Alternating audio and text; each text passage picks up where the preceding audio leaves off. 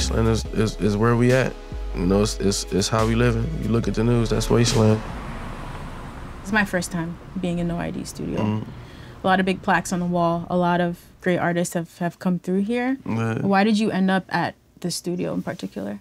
Dion the homie. So like, when I needed a space to finish it, I'm just like, bro, we could use your spot. He like, hell yeah, come through. He got like all the synths in the world.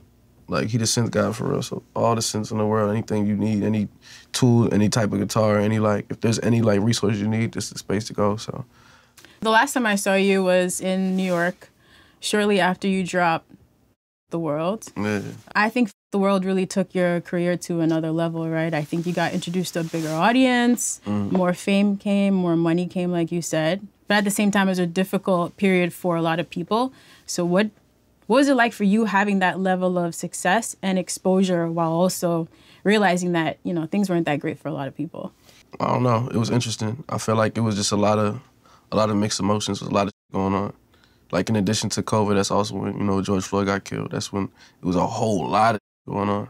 So like I remember being in Atlanta and protesting and getting tear gas during the day and then going to the strip club that night. Wow. Then going to the studio the next day and talking about what just happened. You know what I'm saying? So um, I think that's where a lot of Wasteland came from. Just, uh, just this this idea, or um, um, just my perspective, or how I viewed, you know, the world we was living in at that time.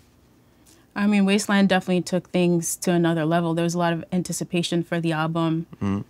I don't know how you felt going into it, but also, what did that success feel like? All of that, the attention, the fame, and the money. Was it easy getting adjusted to that new lifestyle? Nah, it took it took it took a lot of um a lot of conversations, like with with other people that you know that um that are that are in this position. It took a lot of conversations with God, conversations with myself, with my family, um, just to decide. Cause I'll be I'll be ready to quit every five minutes. I'll be like, man, this this getting stressful. I'm out. And that's where you get to escapism, right? Which you talk about on the album when you start exploring being toxic and you call yourself a villain at some points mm-hmm. on the album, but at the same time, a lot of it just feels like transparency. Listen to the project and it start off, you know, villains, villains theme, and then ends with Angel. You feel me? It's just a whole full circle moment. You know, that's self realization, I guess. Um, but I, I try not to write too much from any particular perspective. Like I want to give the full range of human emotions and experiences, not just the good or the bad or the excited or the. I want to give you everything. It definitely is a range. To your point, by the time we get to to Angel, it's like you have to run that track back a few times because after everything we've heard you say throughout the album, dealing with all of your vices, the addictions, you know, being bad in relationships, falling in love, enjoying it, you know, infidelity, things getting extreme. Like, how have your relationships changed as your career has grown? I think ultimately uh, the, the one thing that I that I that I lack is is free time. Mm. Um, I feel like it's like in personal relationships, I don't be having much time to really uh, um, to explore them too much. So I think a lot of a lot of my emotions I just put into the music. Like I'm kind of like one track mind. Like I know at the end of the day, like I want I'm I'm a create. So it's like um if I'm with you and I'm spending time with you, uh, that's cool all the way up until like I get an idea. I gotta create like back to work type.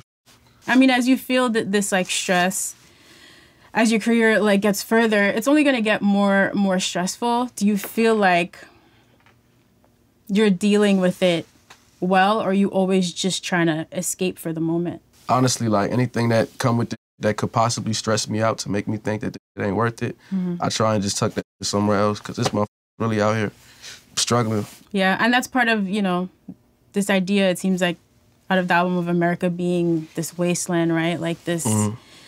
it's all about money at the end of the day. And it feels like, in a way, we like, kind of watch the country cave in on itself, right? Mm-hmm. We're taking away women's rights. We don't care enough about, you know, climate change. We can't get like gun violence under control because like money is really the root of everything. Yeah what what I find like with like with money, right, and comes like like freedom, right? You get like um you get access, you get time to like sit and ponder and think about. Mm-hmm. Like so, I think what I find like with with money and access comes more of this realization, like, damn, like, like what are we all doing here?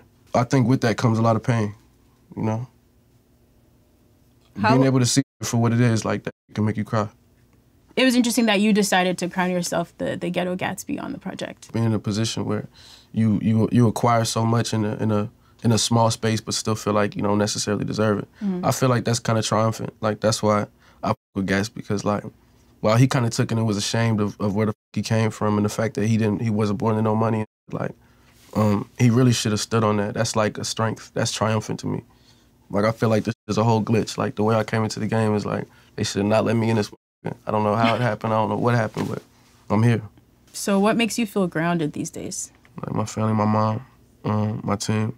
A lot of my team, we came up together type. Like went to high school together, middle school together type. So every, it's because this this is really you know built around family. It really ain't. I'm really never in a, in a position where I gotta be brought back down to here. Like we all kind of did it together. You've definitely always had a tight circle. I mean, Wasteland is the first project where it feels like you really, really opened up outside of, um, you know, the Sonder's circle, the Lost Kids circle. You collaborated with more people.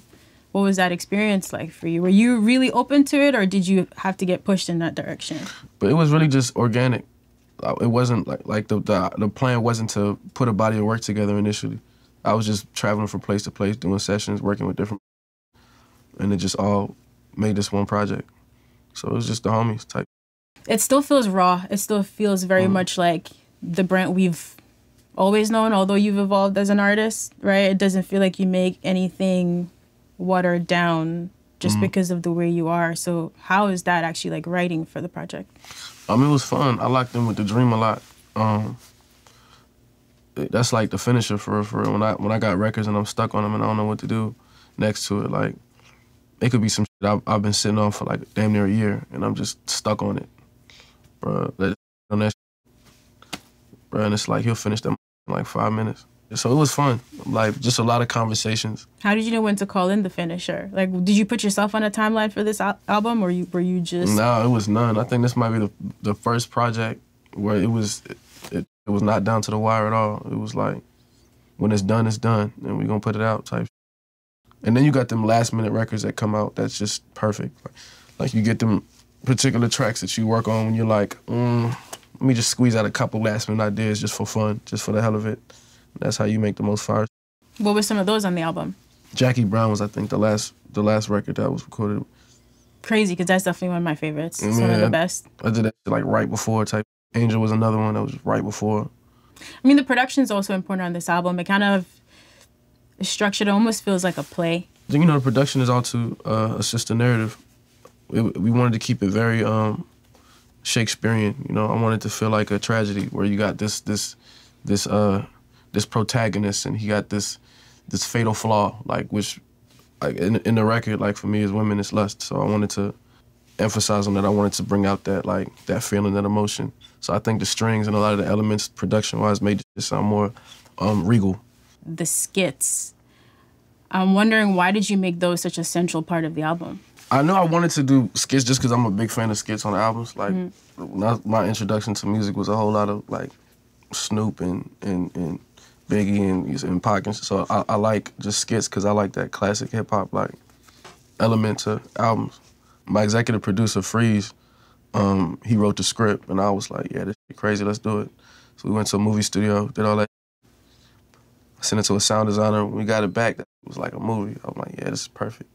It is like a movie. And I mean, skits can evoke different emotions on different albums, right? Some can be more fun, some just bridge songs. But yours, they're uncomfortable to listen to, especially Right. once we get to the, the last skit. It's like hard after the first time to even play it back. Yeah. And I'm wondering why why you wanted them to be that uncomfortable to listen to. I wanted it to be jarring. I wanted it to to give you a jolt. I wanted it to kind of um I want you to feel that emotion. Uh like me personally, I feel like that's that's my goal ultimately like as a as an artist like what I want to do is make you feel it. Whether you, whether or not you like what you feel is a whole nother conversation, but you're to feel something. Wasteland is, is is where we at. You know, it's, it's, it's how we living. You look at the news, that's wasteland. You read a news article, that's wasteland. That's where we at. To check out more of my conversation with Brent Faiyaz, look for the full interview and stream on Apple Music.